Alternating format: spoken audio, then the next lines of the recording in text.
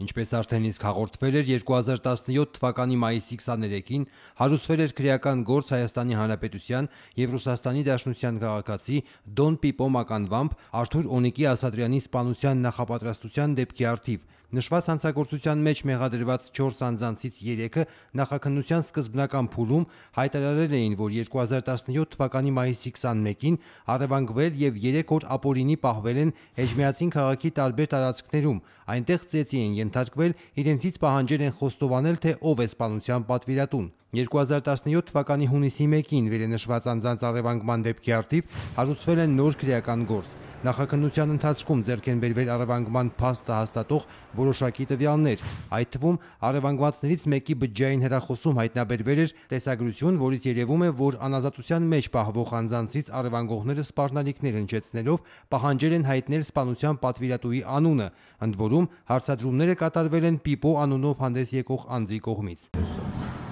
ոնց մեծ ղեկավար օգնեցի 2005 տարի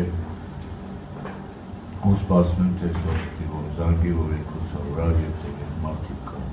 Դիլերները Հա, մի ասելով մարդիկ են գալու այդ այդ գործի հանը։ որ- որում խփել։ Ում անունն ինչ է։ Իպոյ, Որ դեպքի խփել։ քյոյ տափեն չգիտեմ սովոր։ Իսկ ես կողքին եմ թողա։ Վազգեն։ Դու ես կամ չէ։ Հա,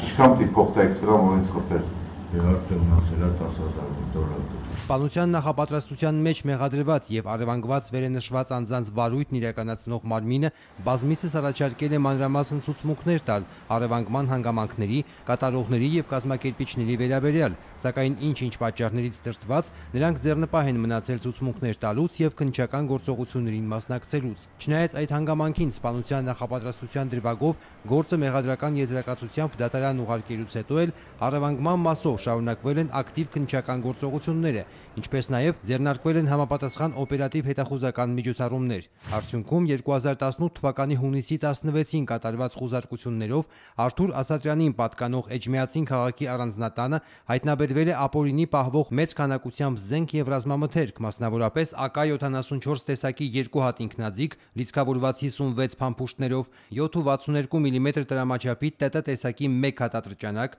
9 մմ տրամաչափի PM տեսակի ատրճանակ, լիցքավորված 8 փամփուշտներով, 9 մմ տրամաչափի APS տեսակի ատրճանակ, լիցքավորված 10 փամփուշտներով, 9 մմ տրամաչափի Beretta տեսակի 2 հատ ատրճանակ, լիցքավորված 34 փամփուշտներով, Colt տեսակի թմբուկավոր 1 հատ ատրճանակ։ Արթուր Ասատրյանը բերման է ենթարկվել եւ ձերբակալվել Հայաստանի Հանրապետության քրեական օրենսգրքի 131-րդ հոդվածի առաջին, երկրորդ, երրորդ եւ 6-րդ կետերով մի խումբ անձանց կողմից նախնական համաձայնությամբ առողջության համար վտանգավոր բռնություն գործադրելով զենքի կամ որպես զենք օգտագործվող առարկաների գործադրմամբ 3 անձի առևանգումը եւ 235-րդ հոդվածի երկրորդ մասով մի խումբ անձանց կողմից նախնական համաձայնությամբ հրազեն եւ ռազմամթերք ապօրինի կերպով ձեռք բերելը եւ պահելը նախատեսված հանցագործություն կատարելու կասկածանքով Նույն քրեական գործով ձերբակալվել են եւս 4 անձինք, ովքեր հանդիսանում են Ռուսաստանի Դաշնության քաղաքացիներ եւ ենթադրաբար Ասատրյանի թիկնապահներն են եւ վերջինիս հետ նախնական համաձայնությամբ